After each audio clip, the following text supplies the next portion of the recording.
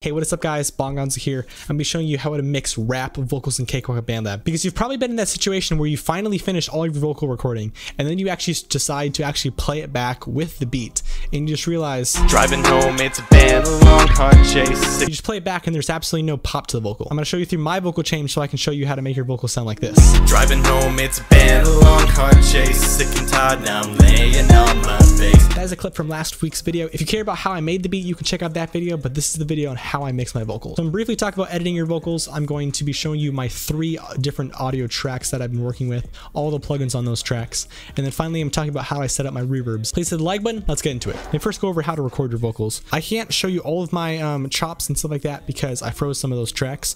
However, in this section, you can kind of see how I recorded multiple takes and basically I just cut through my takes and I found the best lines. So feel free to cut in the middle of a sentence, stuff like that. The idea is that before you start editing your vocal, you make sure you have all of the clips sounding as good as they possibly can. You better believe during this section, I had a lot of cuts. so my main vocal is right here, and the first effect I use is a G-Snap. G-Snap is a free pitch correction plugin. I definitely recommend it. I have my amount at 73% and my speed at 2, because if you have it at like speed 6 and amount 100%, it just sounds way too robotic. You should click on your vocal track and you can send it to an output, which is main voice. What this main voice is, is an, it's an aux track. If you don't know how to route a track, basically just click on the track, go down to the little output in your side panel, and hit new aux track. You can also choose new bus track. However, aux track is very handy because my main vocal aux track is right here, and all of my plugins are very easily accessible. You can tell if a track is an aux track because it has this big giant symbol right here.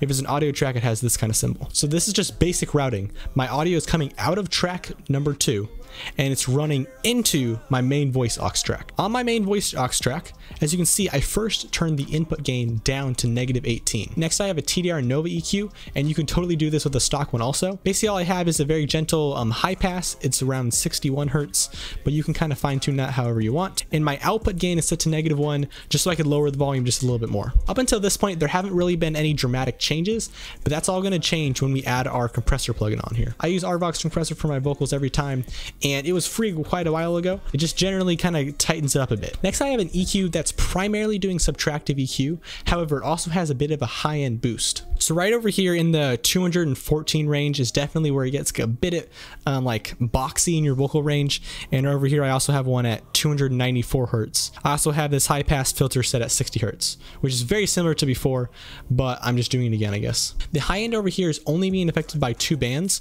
The first one is a just normal band that's boosting a bit at 5.9 hertz. Driving home, it's been a long hard chase. Sick and That part of the vocal just sounds a bit crispy, so I tried to bring that up a bit.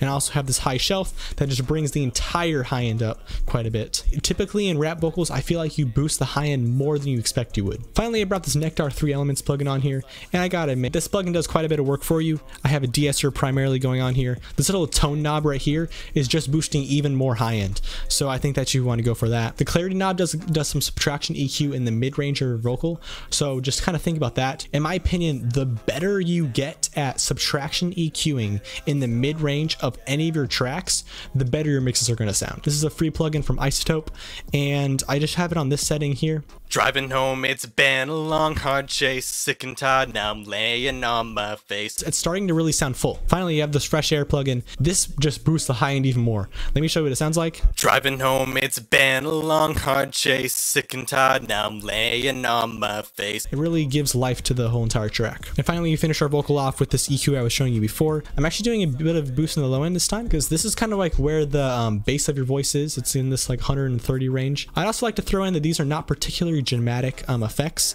So this is at 1.6 dB. Um, this slice EQ here, the high band is at 2.1 dB. I'm not going to say that it's a rule to not do big dramatic changes to your vocal, but the more transparent you can be the things, the better things typically sound. And again, I have a 359 hertz dip, a 796 hertz dip, 0.76 kilohertz dip. Here's how my vocal sounds alone.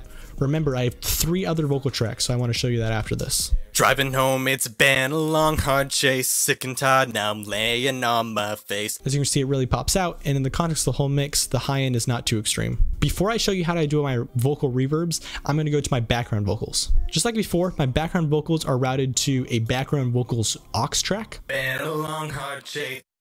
Now I'm laying my face. They're really only there just to kind of give it a bit more stereoness. The very first thing I do is I have two G-Snap plugins. I want to really make sure that I'm locked in on the pitch. And then I have this RVox compressor again. However, the compression level is super intense. Been a long hard chase. Now I'm laying my face. As you can see, just super duper slammed. This is almost the exact same EQ I had before, except even more high end. And again, I also have this Nectar 3 elements, but I'm just boosting everything this time. So super compressed on the dynamics knob, even more high end and a bit more uh, mid-range subtractive EQing through this plugin here. I had a vocal doubler, and this is a very extreme vocal doubler. So I think I turned the mount knob up quite a bit. I did fresh air on a, a bit more extreme setting. Finally, I have this stock um, vocal mixing plugin that comes straight in from Cakewalk, I have the doubler and the de-esser turned on. The Cakewalk doubling gives you the stereo effect. That's the effect that you're looking for. Been a long hard chase. Now I'm laying my face. Really nice. I've seen people do the similar effect using the wider plugin. That one's a very famous plugin. Before I go into my reverbs that I'm using, I have a high vocal track. It sounds like this. No matter how stuck at home. That's what it sounds like. And the only thing I did was I had almost the exact same presets, except as you can see, a lot less high end added. All right, let's go into my reverbs because these are this is an interesting technique for reverb. So basically how I do my reverbs is I'm not using a reverb plugin. I'm not like attaching a reverb plugin to my track. Instead, what I'm doing is I'm going going over to this bus and I'm sending my reverb into a bus. So if I turn this reverb send on, as you can see, have a round reverb on this bus. And here are my settings. My bus reverb is at 100%, just like you always do with bus reverbs. My delay is at one second. So if I just had it playing like this, let's listen to what it sounds like. Driving home, it's been a long, hard chase. Sick and tired, now I'm laying on. Now, the vocal is very muddy. The vocal sounds like it's screaming in a warehouse. The way that you counteract that is use some side chaining with your vocal. So I'm using MCompressor because it's very user friendly. I recommend getting it, but you can also use the stock one also. As you can see, I have the softest knee possible and a very very long release and an attack of zero milliseconds. Now let's listen to what it sounds like after the compressor.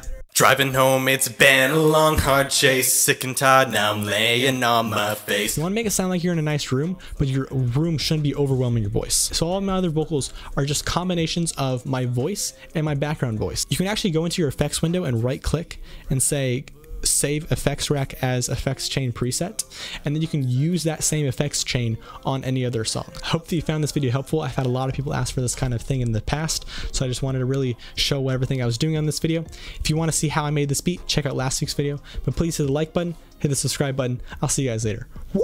Driving home, it's been a long, chase. Sick and tired, now I'm laying on my face. Laying cause my life's a nightmare. I know it's unfair, I know so I don't have to speak the pain. Staying home so I don't have to meet the shame. Laying bed cause my life's